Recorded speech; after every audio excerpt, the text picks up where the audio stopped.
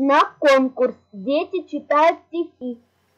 Пустовалова Екатерина Витальевна, 11 лет, Александр Блок. Я никогда не понимал. Я никогда не понимал искусство музыки священной, а ныне слух мой различал в ней чей-то голос сокровенный. Я полюбил в ней ту мечту и те души мои волнения, что всю былую красоту волной приносит из забвения.